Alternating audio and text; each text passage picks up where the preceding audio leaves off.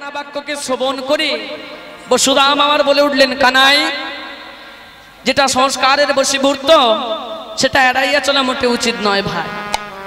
তুই বলছিস, কর্মের মাধ্যমে দিয়ে আমরা আমাদের জীবনের ব্যক্তিত্বকে সাধন করব। কিন্তু কানাই রে, যদি আমরা বাস্তবকে উপেক্ষা করে চলি, আমরা জীবন সংগ্রামে প্রতি পদে পদে বাধা পাব। তাই আমরা তোর সকল কথা শুনে নিলাম। এই যে আমরা বাড়ি ফিরে যাব, কিন্তু কানাই রে, আমরা আমাদের ধেনুবৎসগুলিকে ফিরিয়ে নেওয়ার চেষ্টা করছি। কিন্তু তোর ধেনুবৎস কে ফেরাবে? কারণ তারা তো সব চোরা, তারা সবুজ শস্য ক্ষেত দেখতে পেলে, কারও দোহাই মানে না, ন্যায় অন্যায় জানে না। তারা সেই দিকে ধাবিত হয়, তাই বলি কানাই, তোর চোরা ধেনু তোকেই ফেরাতে হবে। ও বলি কে ফিরাবে চোরা ধেনু। কহে ঘন শ্যাম গো। ধেনু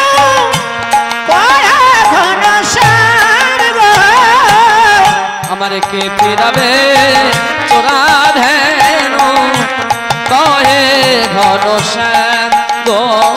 আমারকে ফিরাবে চরা ভেন কহে ঘন শ্যাম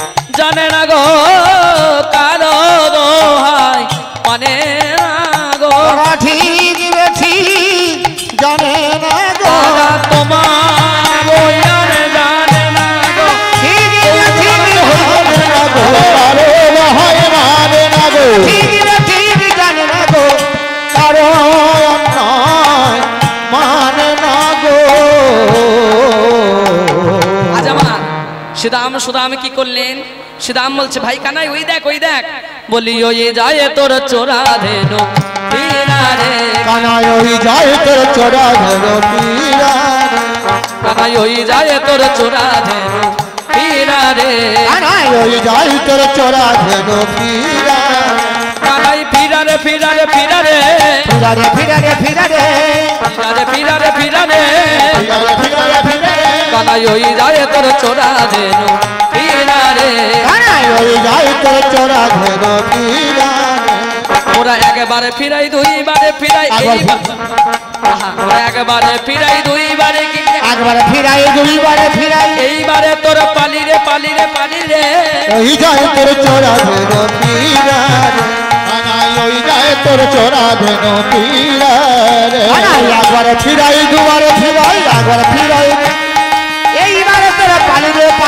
রে ওই যায় তোর চোরা ধেন পীরা কানাই ওই যায় তোর চোরা ধেন পীরা রে বলি ওই যায় তোর চোরা ধেন পীরা রে ওই যায় তোর চোরা ধেন পীরা রে ওই যায় তোর ধেন পীরা ওই যায় তোর হরি ওই যায় তোর চোরা ধেন পীরা আমার সুদাম বলছে ভাই কানাই তোকে আরও বলি শোন। ও বলি খাইবে খন্দ বলিবে মন খাইলে খন্ড বলবে মন্দ। একেবারে বেনু বাজারে বাজারে বাজারে। খাইলে বলবে একবারে বেনু বাজারে বাজারে বাজারে। খাইবে খন্দ বলিবে একেবারে বেনু বাজারে বাজারে বাজারে। খাইলে বলবে মন্দ। একবারে বেনু বাজারে বাজারে বাজারে। ওই তোর চোরা বেনু ফিরা রে কানাই ওই যায় তোর চোরা বেনু পীরা রে কানাই কহে বন্ধু ও হে দিন বন্ধু দাঁড়াইব তুহার পাশে পাশে পাশে কহে দিন বন্ধু অবদিন বন্ধু দাঁড়াইব তুহার পাশে পাশে পাশে কহে দিন বন্ধু হে দিন বন্ধু দাঁড়াইব তুহার পাশে পাশে পাশে কহে দিন বন্ধু হে দিন বন্ধু দাঁড়াইব তুহার পাশে পাশে পাশে পাশে ওই যায় তোর চোরা রে রে। ওই যায় তোর পীরা কানাই ওই গায়ে তো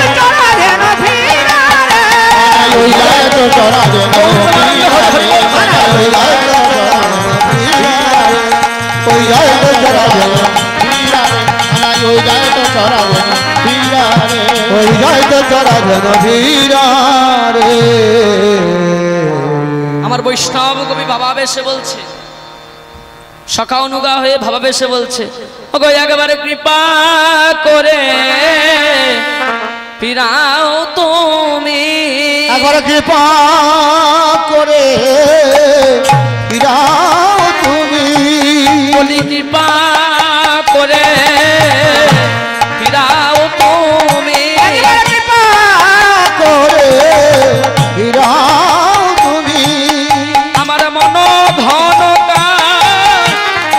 ননের ধেনু কৃপা করে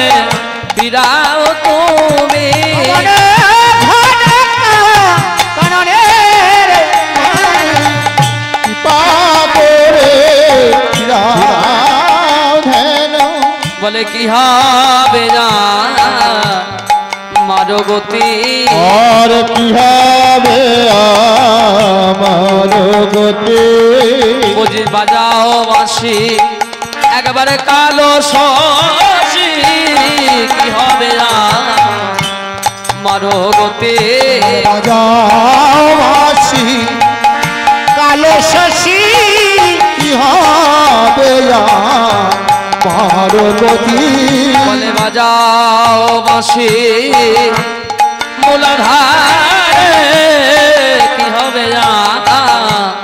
মারো গতি বাজাও বাঁশি। আমার মূলাধারে কি হবে গতি বলে বাজাও বাঁশি স্বাদিষ্টানে কি হবে মারগতি। বাঁশি স্বাধিষ্ঠানে কোন সময় তোরা হোরে বাজাও বাঁশি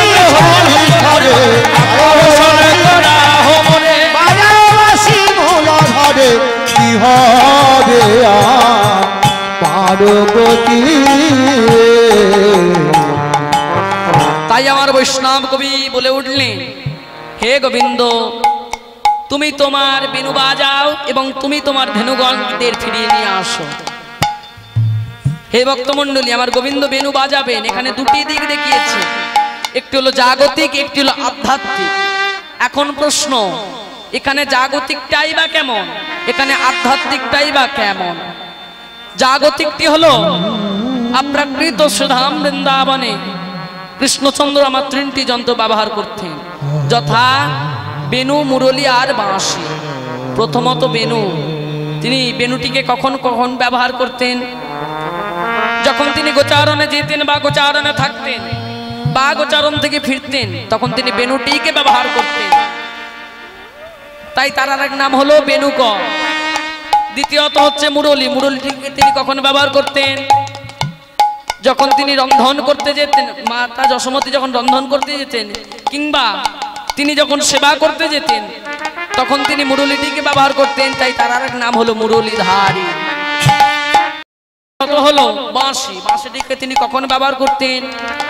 যখন তিনি ব্রজগোপীদের মন হরণ করতেন, তখন তিনি বাঁশিটিকে ব্যবহার করতেন। তাই তার আর নাম হলো বংশীধারী। তাই বর্তমানে তিনি যেহেতু গোচারণে আছে তাই বেনুটিকে ব্যবহার করলেন। এবং বেনুতে একটি ধ্বনি করলেন, যেটি হলো, অবসান ও সংকেত ধ্বনি। এবার আধ্যাত্মিকটাই বা কেমন? যেখানে হয় হরিনাম সংকীর্তন, যেখানে হয় ভক্তগণের আগমন, যেখানে হয় তুলসী দেবীর আগমন, যেখানে সকলে হয় আগমন যেখানে থাকে না কোনো আনমন সেই স্থান হয় মধুর হইতে মধুরা দোপি শ্রী মধুর সুদাম বৃন্দাবন। এই বৃন্দাবনের পরিধি কত উত্তরে বলা যায়? চৌরাশি কোষ আধ্যাত্মিক তত্ত্বে আরেকটি বৃন্দাবন আছে, যেটি হচ্ছে চৌরসী অঙ্গলি বৃন্দাবন। এই চৌরসী অঙ্গলি বৃন্দাবনটি কেমন? কোষাগ্র থেকে নখাঙ্গুলি পর্যন্ত অঙ্গলি বৃন্দাবন। আরেকটি বৃন্দাবন আছে, যেটি হচ্ছে আমাদের হৃদয় বৃন্দাবন। এই হৃদয় বৃন্দাবনের পরিধি মাত্র আড়াই ইঞ্চি বৃন্দাবন। আমার সেদাম বলছে, কানাই রে তুই তোর ধেনুগুলিকে ফিরিয়ে নিয়ে আয়। এ ভক্তমণ্ডলী, এখন প্রশ্ন, আমার কানাইয়ের ধেনুগুলি কোনগুলি গো? ধবলি, শ্যামলি, কমলি প্রিয়ারি মেদি কজালক্ষী রম্বে, ভ্রাম্বিকে এইগুলো আমরা সাধারণভাবে যেগুলো জানি। কিন্তু তত্ত্বে বলতে চাইলেন না। তত্ত্বে বললেন, আশি লক্ষ যদি ভ্রমণ করবার পর চতুর্থ লক্ষাঞ্চ মানবা। অর্থাৎ চুরাশি লক্ষ যদি ভ্রমণ করবার পর আমরা পেলাম এই সাদের দেব দুর্লভ মানব জন এই দেহটাই হলো বর্তমান কর্মভূমি কিংবা মাঠ কিংবা চারণ ক্ষেত্র। এই দেহের মধ্যে আমাদের যে গোবৎসাগুলি আছে, এই চারণ ক্ষেত্রের মধ্যে যে গোবৎসাগুলি আছে, সেগুলি ফিরিয়ে নিয়ে আসবার কথা বলছে আমার কানাই। আর একমাত্র কানাই পারে ওইগুলো ফিরিয়ে নিয়ে আসতে। তাই আমার কানাই কি করলেন? একটি ধ্বনি করছে, যেটি হল অবসান সংকেত ধ্বনি। কেমন ভাবে হরিরত ধাবলা আসেনি। পুরিত দূর প্রচারিত দৃষ্টা সংকল এ তো মুখং নাম না জগবে না আমার গোবিন্দ দেখলেন ধবলা আসেনির যে গাবিগুলি, তারা বহু দূরে গিয়ে বিচারণ করছে। তাদেরকে নিকটে ফিরিয়ে নিয়ে আসবার জন্য প্রত্যেকের নাম উল্লেখ করে বেনু বাজন করতে লাগলেন। কেমন ভাবে? ও বলি, চাঁদ মুখে দিয়া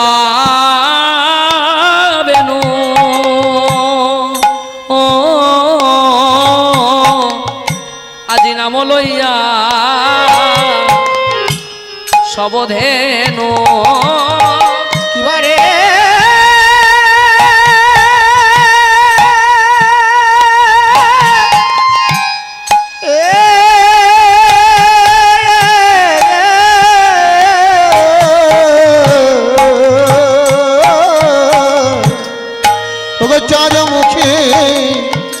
দিয়াবে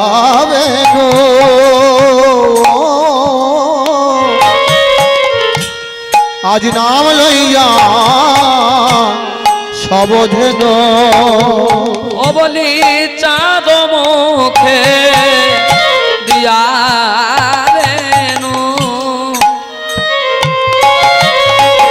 দেখো নাম লইয়া সবধেনু চাঁদ মুখে দিয়াবে গো আজ নাম লইয়া সবধেন দেখো ডাকি তেলা গিলায় উচ্চই সরে গো।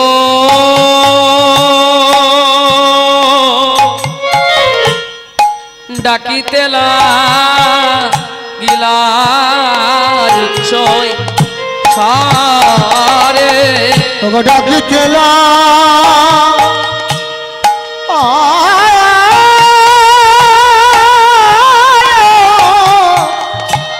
লাগিলায় চই সরে গো।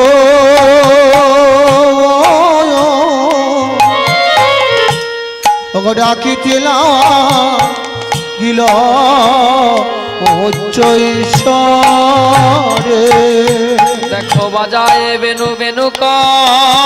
বাজায় বেনু বেনু ক। দেখো বাজায় বেনু বেনু ক। দেখো বাজায় বেনু বেনু ক। বলি কি বাজো তার মধুর স্বর। বাজায় বেনু বেনু ক। কিবায় তার মধুর স্বর বাজায় বেনু বেনু ক। বলে সর সর হয়ে পড়ছিল ভাই। বাজায় বেনু বেনু গণের মরম সুতলে বেনু বেনু গণের মরম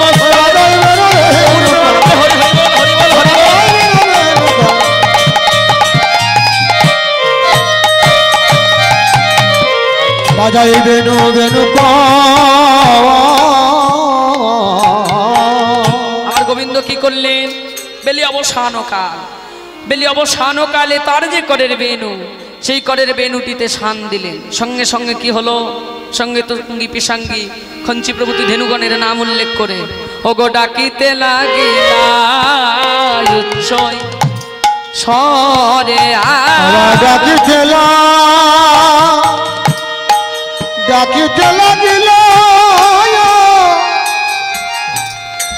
কৃষ্ণ কথায় আছো বলে। ডাকি ঠেলা দিল উচ্চ ঈশ্বরে। দেখো, ডাকিতেলা গিলায় ছয় সরে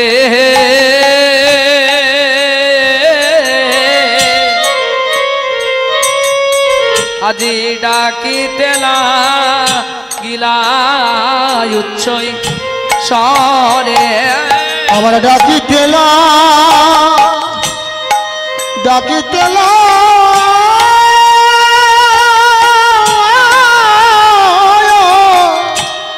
লাগিল উচ্চ সরে গো। গো ডাকিতেলা গিলা উচ্চ ঈশ্বরে আজ আমার কি হলো? না ধেনুগণ কি করছে গো? মনের আনন্দে মনের গুলমলতাদি সেবা করছিল। যখনই আজ কানাইয়ের বেনুর ধ্বনি শোভন করেছে সকলে পাগল হয়ে গেল। যে যেদিকে দিয়ে পারছে কানাইয়ের নিকটে ছুটে চলেছে। ওগো শুনিয়া কানায়ে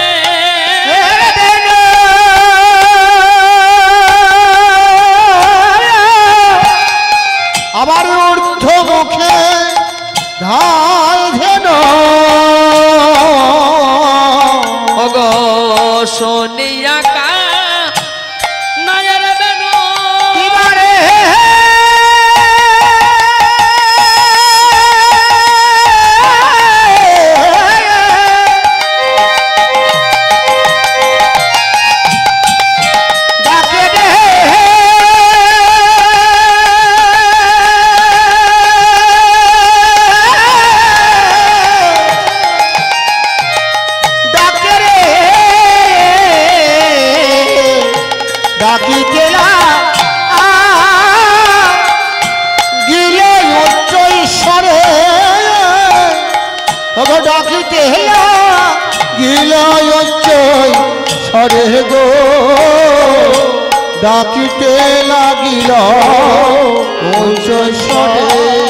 বলে শুনিয়া কা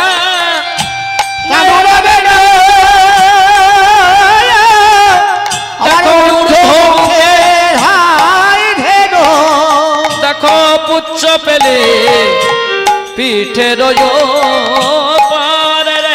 আবার পুচ্ছ পেলে পিঠের উপর পুচ্ছ ফেলি পিঠে রয় দেখো পুচ্ছ ফেলি পিঠের মাগো এইবার কি হলো? আমার কানের পিঠের। বেনুর ধ্বনি যখনই ধেনুগণ শ্রবণ করেছে সকলে যে যেদিক দিয়ে পাচ্ছে কানাইয়ের নিকটে সকলে ছুটে চলেছে।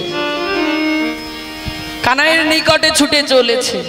কিন্তু যেতে পারলেন না একজন, সেটিকে ইনি ছিলেন পূর্বকালে মদন। এই মদনের একদিন বড় অহংকার হয়েছিল। আমার মাত্র পাঁচটি বান আছে। মদন, মাদন, মোহন, শোষণ আর স্তম্ভ এই পাঁচটি বান দিয়ে আমি গোটা বিশ্বকে জয় করে নিয়েছি। আমি প্রথম বান নিক্ষেপ করেছিলাম। দেবরাজেন্দ্রের উপরে। তিনি আমার তিনি আমার মানে জর্জরিত হয়ে গুরুপত্নী অহল্যার উপর লালসা জেগেছিল। আমি বান নিক্ষেপ করেছিলাম চন্দ্রদেবের উপরে। তিনি আমার মানে জর্জরিত হয়ে তিনি কি করেছিলেন? না গুরুপত্নী তারা দেবীর উপর লালসা জেগেছিল। আমি বান নিক্ষেপ করেছিলাম মহাদেবের উপরে। তিনি আমার মানে জর্জরিত হয়ে কি করেছিলেন? না, মোহিনীর উপধারী গোবিন্দকে চিনতে না পেরে মোহিনীর প্রেমে আকৃষ্ট হয়ে পড়েছিলেন আমার মাত্র একটি বান আছে। এই বান দিয়ে আমি তোমাকে জয় করতে চাই।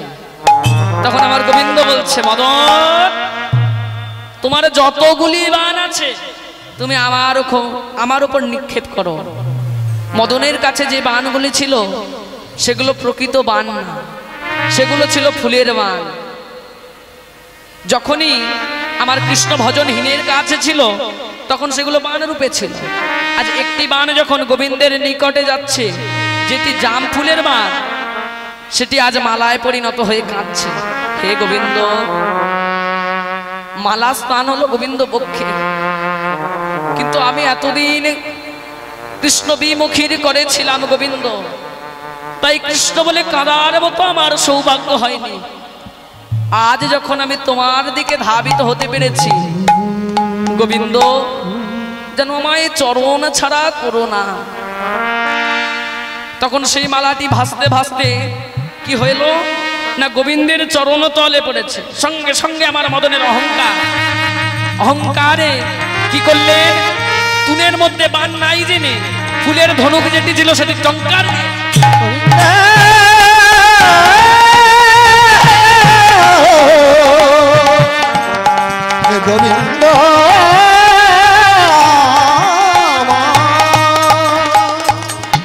যখনই ফুলের ধনুক টঙ্কার দিয়েছে, যেহেতু ফুলের ধনুক সেটি কি হলো চূর্ণ বিচূর্ণ হয়ে গিয়েছে। যখনই ফুলের ধনুকটি চূর্ণ বিচূর্ণ হয়ে গিয়েছে, আমার মদনের অহংকার দূরীভূত হলো। সঙ্গে সঙ্গে গোবিন্দ চরণে পড়ে, প্রভু তুমি হলে জগৎপতি, তুমি আমাদের পিতা। সন্তান যদি ভুল কোনো করে থাকে, পিতার কাছে সে ভুল শুধরে দেওয়া বা ক্ষমা করে দেওয়াই হলো পিতার একমাত্র কর্ম। ও মাগো কথা হয়ে যাচ্ছে একটু আসতে। সেটাই হচ্ছে পিতার কর্ম। আমি যে ভুল করেছি এর জন্য আমার অপরাধ ক্ষমা করে দাও। তখন আমার গোবিন্দ বলেছিল, মদন এ জন্মে এ জন্মে তোমার কোনো উদ্ধার নেই। তুমি উদ্ধার পাবে কলিকালে। সেই মদন আজ কি করছে? না যেহেতু গাভী রূপ নিয়েছে? ছটফট ছটফট ছটফট করছে। লতা পাতা জড়িয়ে ধরেছে সেই গাভীটিকে এই লতা পাতাগুলো কিসের লতা কুমার? এগুলো হলো মায়ারূপী লতা যেগুলো আমাদের গোবিন্দের কাছে যেতে দেয় না। গাবি আমার ছটপট ছটপট ছটপট করছে। কখন গোবিন্দের চরণ পাবে? কিন্তু যেতে আর পারে না। এইবার হলো কি? অন্যান্য গাবিগণ কেউ কেউ দ্রুত গতিতে চলছে, কেউ কেউ মন্থর গতিতে চলছে, আবার কেউ কেউ ছুটতে ছুটতে দাঁড়িয়ে পড়ছে। এখানে আমার বৈষ্ণব কবি ভাবাবেশ লীলাকে দর্শন করে বলছে, হে বৃন্দাবনী, ধেনুগণ তোমরা হলে ধন্যাতি ধন্য কারণ তোমাদের দিকে যে মন্থর গতিতেও চলিবার ও দ্রুত গতিতে চলিবার যে ভঙ্গিমাটি তোমরা দেখাচ্ছ তোমরা কখন গোবিন্দের নিকটে পৌঁছাবে বা কোথা থেকে বেনুর ধ্বনি হচ্ছে সেটি শোনবার তরে। তোমরা সংকেত ধ্বনি শনিবার তরে। সংকেত ধ্বনি শুনিবার তবে বলি হাম্বা রব করে। আজ সংকেত ধ্বনি শনিবার লাগে রব করে। সংকেত শুনিবার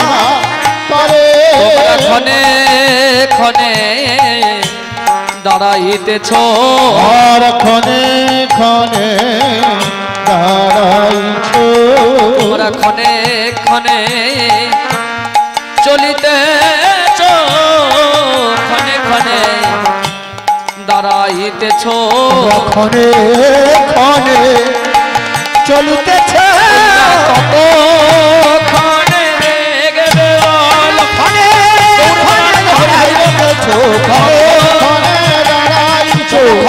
ক্ষণে চলিতেছ।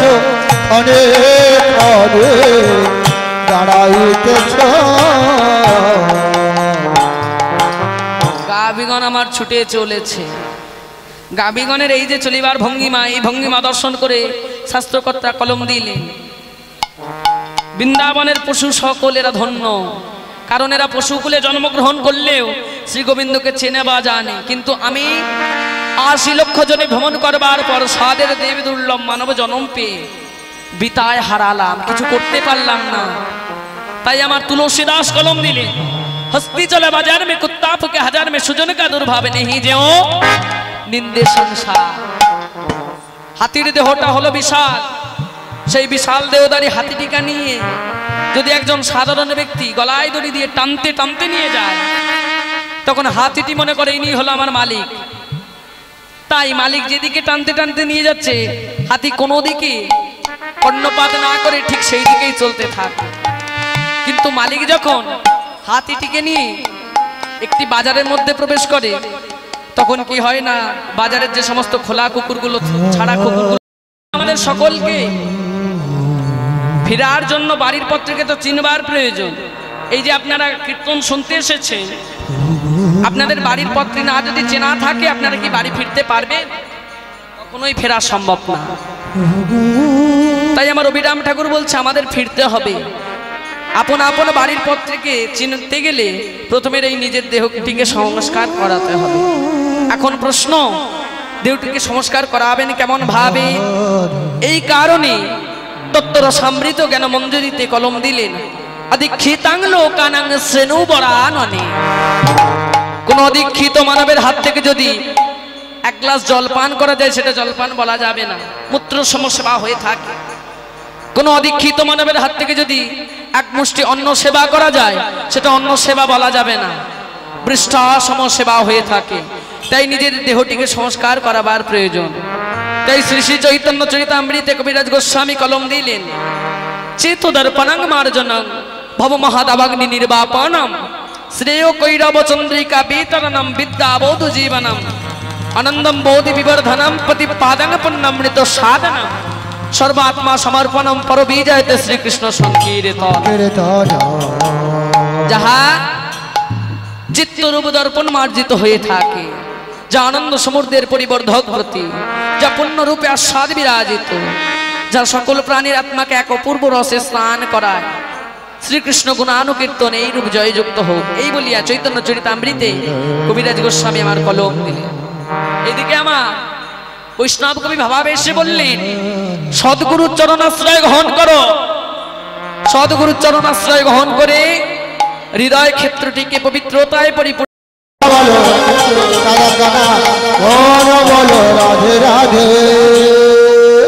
আমরা বর্তমানে সকলে কোথায় উপস্থিত আছি? কোথায় উপস্থিত আছে গো? বৃন্দাবনে। তো বৃন্দাবনে আমরা সকলেই উপস্থিত আছি। এবার দেখে নেওয়া যাক আমার নন্দিন নন্দন গোকুল নন্দন শ্রীকৃষ্ণ ভগবান আমার কি করছেন। না, তিনি প্রাতকালে সুসজ্জিত হয়েছে। দাদা বলরাম এবং অন্যান্য রাখাল বালকগণ সঙ্গে নিয়ে যেমন ভাবে প্রত্যেকটা দিন নেচে নেচে গোচারণে গমন করতেন, তদ্রুপ আজও তিনি নেচে নেচে গোচারণে গমন করলেন। সেখানে গিয়ে কি করেন? বনে বনে ধেনু চারণ করিয়া প্রীতি তরু তলায় সঞ্চারণ করো অপরাহ্ন কালে পশুপক্ষী স্থাবর সঙ্গমে প্রভৃতি স্থির চরগণকে নিজ সুখ বিলাসে আনন্দিত করিয়া উৎকর্ষিত ব্রজবাসী ও ব্রজবাসিনী দিককে সুখী করিতে এবং আনন্দ দান দিতে আকুল হইয়া উঠিলেন। এহেন সময় গগন পানে লক্ষ্য করছেন, গগনে বেলি অবসান প্রায়।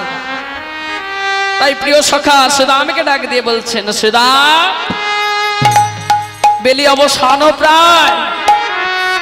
এইবার এইবার ধেনু সকলকে একত্রিত করো চলো আমরা যে যারা মায়ের কাছে ফিরে যাই বলি মরম সখারে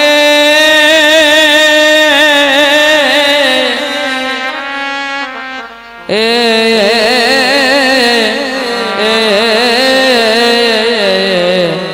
মরম সখা সিদা মামা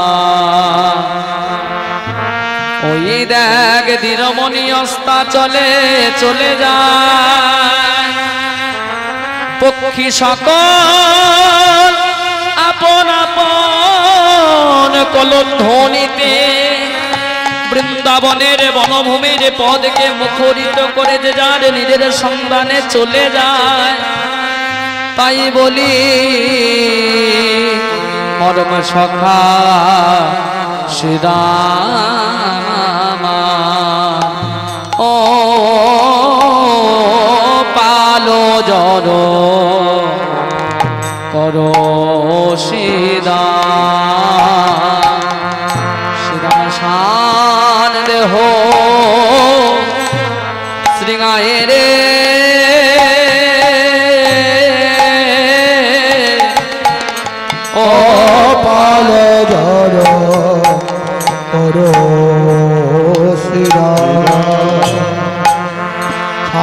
দেহ সিনায়নে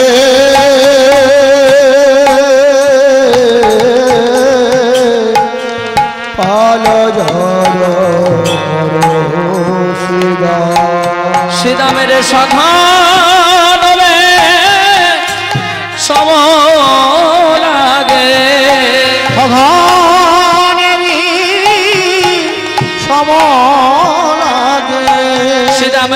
শ্রীরামের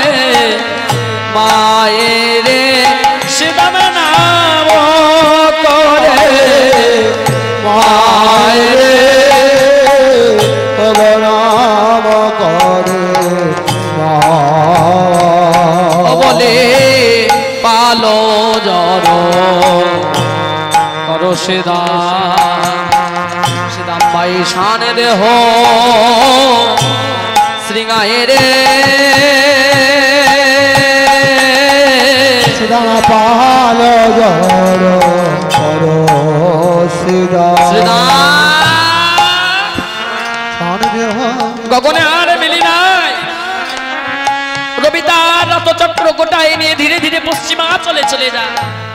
সন্ধ্যা দেবী তার আগমনী বার্তা জানায় দেয় ওই দেখো শ্রীরামে ধীরে ধীরে সন্ধ্যার অন্ধকার কেমন পৃথিবীর বক্ষে নেমে আসছে। সন্ধ্যা দেবী তার আগমনী বার্তা জানায় দিচ্ছে শ্রীদাম কাল বিলম্ব করা উচিত নয়। শ্রীরাম ওগো পালো জর করো শ্রীরাম শ্রীরাম দেহ শ্রীগায় রে। শ্রীরাম রে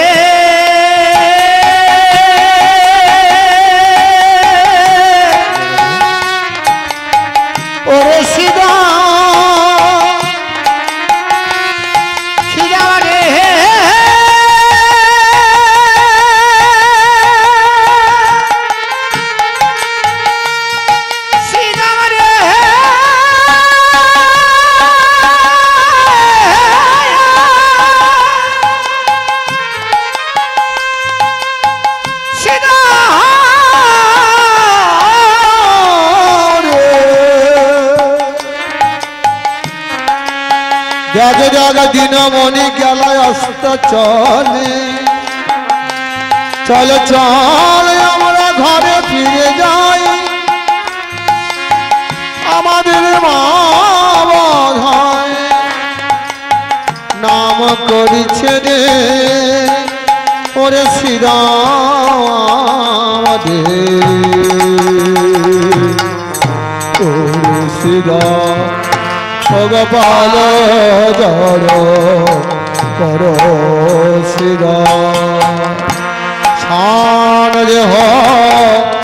সিনয় রে। বাজারে বাজারে বাজারে বাজারে একেবারে বাজারে বাজারে বাজারে বাজারে ও তোর চাঁদ মুখে বেনু দিয়া। বাজারে বাজারে তোর চাঁদ মুখে বেনরিয়া বাজারে বাজারে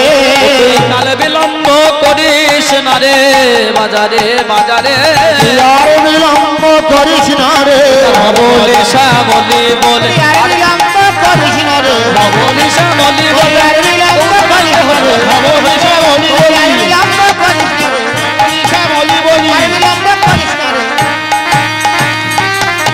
একবার বাজারে বাজারে।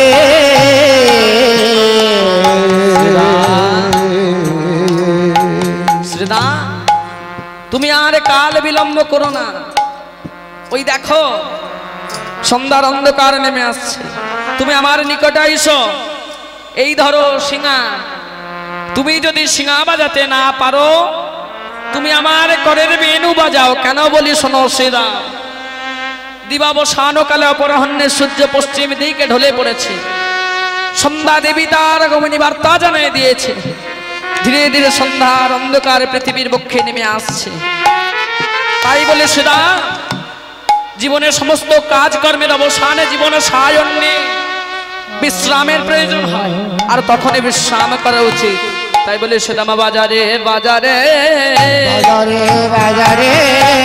বাজারে বাজারে। বাজারে বাজারে। কালে বিলম্ব করিস না ভাই বাজারে বাজারে? আই বিলম্ব করিস নে ভাই বাজারে বাজারে। বলি হবলি শ্যামলি বলে বাজারে বাজারে। ধবলে শ্যামলি কালে বিলম্ব করিস না ভাই। ধবলি শ্যামলি বলে। কালে বিলম্ব করিস। ধবলি শ্যামলি বলে। ধবলি শ্যামলি বলি। শ্রীরাম বাজারে বাজারে।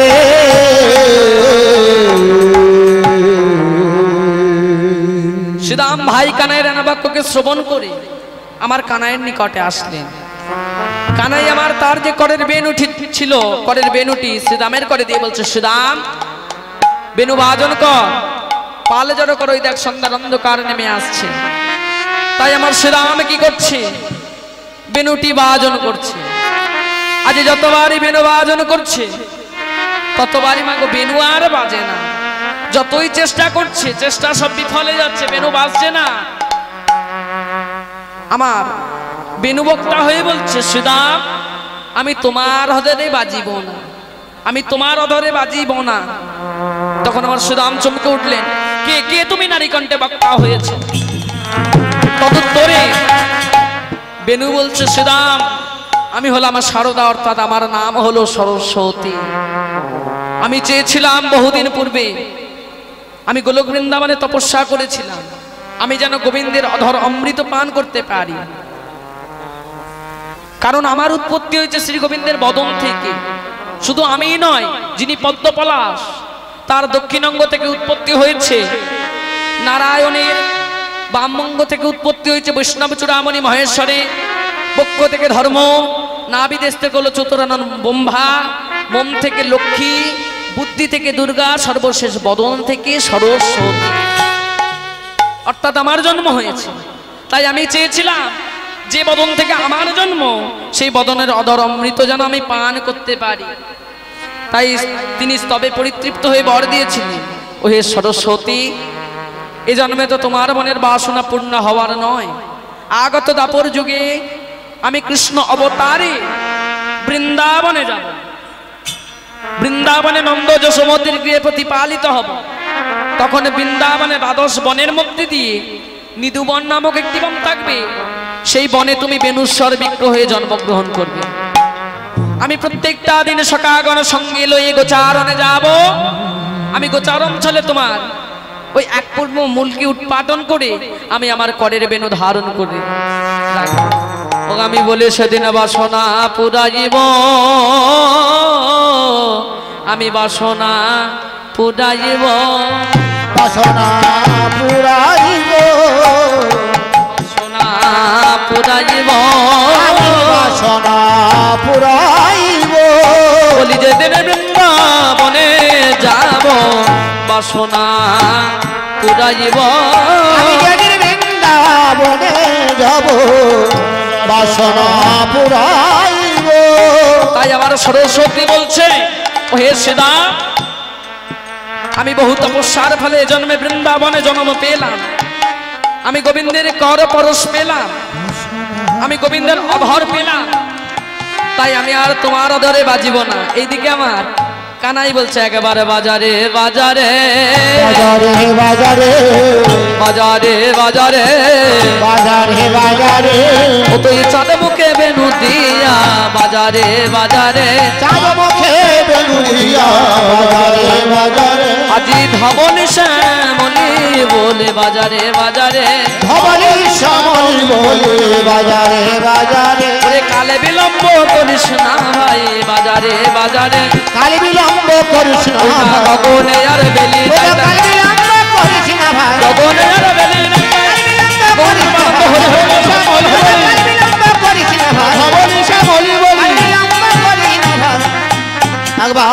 বাজারে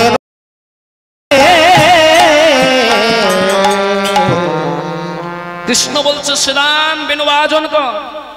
বেনু বাজিয়ে পালগুলিকে জড়ো কর। ওই দেখ সন্ধ্যার অন্ধকার নেমে আসছে। ভাই কানাই কি বলছে না, বেনু বাজিয়ে পালগুলিকে কোন পাল জড়ো করবার কথা বলছে? জাগতিক জগতে শুধু পাল না, আধ্যাত্মিক জগতের কথা বললেন আমার গোবিন্দ। আমাদের এই শরীরের মধ্যে যে পালগুলি আছে, সেই পালগুলিকে একত্রিত করবার কথা বলছে। শুধু তাই নয়, আরও বললেন বলিয়া যে মাঠে আমাদের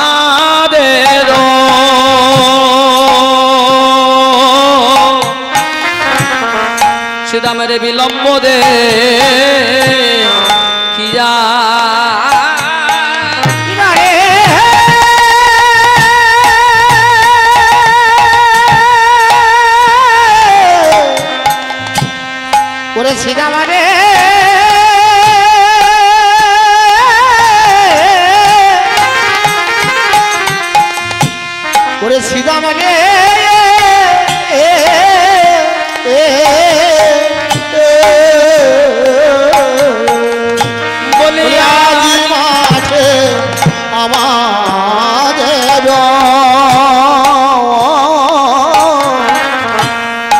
বিলম্ব দেখিয়া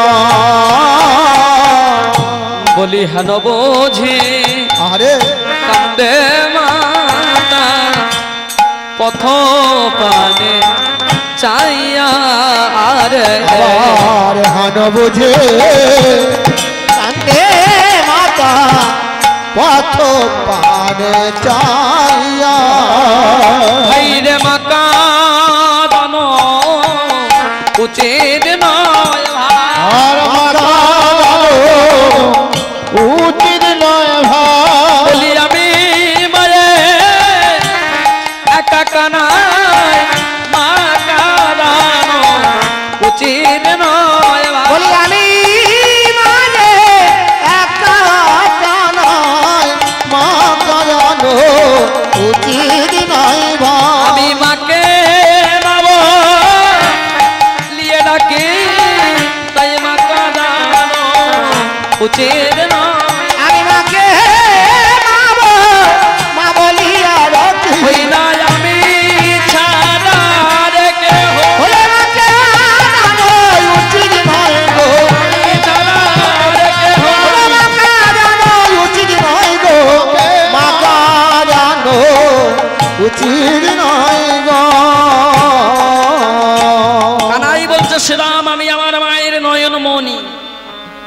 তাই বলি আমার মা আমার জন্য কতই না কাঁদছে। তখন আমার শ্রীরাম প্রশ্ন করে বসল, আরে কানাই, তুই যদি বলিস তোর মা তোর জন্য কতই না কাঁদছে, তাহলে আমি প্রশ্ন করছি, তুই সেটা জানলি কেমন ভাবে? তদুত্তরে কৃষ্ণ বলছে "শ্রীরাম রে বৃহত্তর যখন মহত্তরে আসিয়া পৌঁছয়, তখন এই হৃদয়কে স্পর্শ করে রাখলে বোঝা যায়, আমার মা আমার জন্য কতই না কাঁদছে। এটাই তার প্রমাণ। এবং মাকে দেখবার জন্য আমার তাই বলে শ্রীরাম পরে বেলি যাব সন হইল।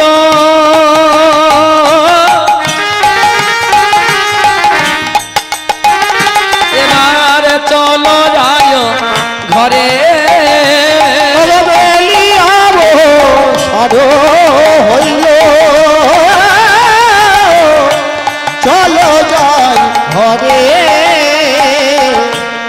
বলি বেলি যাব সন হইল। এবারে চলো যায় ঘরে। বেলিয়াব সারো হইল। চলো যাই ঘরে। মায়ের না দেখে জানি করে আরে পায়ে না দেখিয়া কেমন জানে করে তাই আমার কানাই কি বলছে শ্রীদাম রে আমি হলাম আমার মায়ের অন্ধের নৌরি স্বরূপ। তাই বলি আমার মায়ের অফুরন্ত বাৎসল্য প্রেমের মর্যাদা আমি কখনো ক্ষুণ্ণ করিতে পারি না। এবং জগতে কোনো পুত্রের তাহা করা উচিত নয়। আমার মায়ের মর্মচ্ছেদী কন্দন ধ্বনি প্রতিধ্বনিত হয়ে আমার প্রাণে বাঁচছে তাছাড়া মায়ের বাৎসল্য প্রেমকে অক্ষুণ্ণ রাখাই আমার কর্তব্য। সুদাম রে আমি কেন এটা প্রত্যেকেরই মনে রাখা উচিত? সন্তানের প্রকৃত করণীয় কি? তাছাড়া এই যে মায়ের ডাক, এই ডাক যে সন্তানের কল্যাণকর, এটা সন্তানের ভুলে থাকা উচিত নয়। তাই বলছিলাম আমি সেই মাকে কেমন করে ভুলে থাকতে পারি? তাই এখানে আমার বৈষ্ণব কবি বলতে চাইলেন বেলি অবসান হইল চলো যাই ঘরে। মায়ের না দেখিয়া প্রাণে কেমন জানি করে। তাই তত্ত্বদর্শী বললেন বেলি অবসান হইল চলো যাই ঘরে। এখানে ঘরে ফিরে যাওয়ার কথা বলছে আমার গোবিন্দ। কোন ঘর? যে ঘরে আমরা বর্তমানে বাস করছি এই ঘর থেকে আমাদের সেই ঘরে ফিরে যেতে হবে। কিন্তু ঘরে ফিরে যেতে হলে সকল মানব জাতিকে ঘরে যাওয়ার পর থেকে চিনবার প্রয়োজন। তাই আমার তত্ত্বদর্শী আরও বললেন, আমরা এসেছি মর্তে, হবে তো মূর্তি। এসেছি ভাবে যেতে তো হবে। তবে কে বা কবে যাবে এটা তো বলা সম্ভব না। যার যখন সময় হবে তাকে তখন ঠিক চলে যেতে হবে। তাই বর্তমানে যে লীলাটি আস্বাদিত বা পরিবেষ্টিত হচ্ছে, সেটি হলো উত্তর গোষ্ঠ বা ফিরা গোষ্ঠ এখন প্রশ্ন ফিরা গোষ্ঠকে কেন উত্তর গোষ্ঠ বলা হয়? তদুত্তরে বলা যায়, স্বর্গের চারটি দ্বার আছে। কি কি? উত্তর, দক্ষিণ, পূর্ব, পশ্চিম। এই দ্বারগুলির মধ্যে উত্তরের দ্বারটি হলো মুখ্য। কারণ, জাগতিকের আচরণ হলো, কেউ যদি উত্তর দিকে মাথা দিয়ে ঘুমোয় বলায় উত্তর দিকে মাথা দিয়ে ঘুমোতে নাই। উত্তর দিকে মাথা দিয়ে ঘুমোলে নাকি অমঙ্গল হয়। আবার কেউ যদি উত্তর দিকে মুখ করে সেবা করতে বসে বলা হয় উত্তরের দিকে মুখ করে সেবা করতে না। উত্তর দিকে যদি মুখ করে সেবা করা হয়, তাহলে অমঙ্গল হবে। কিন্তু যখন এই শূন্য দেহপিঞ্জর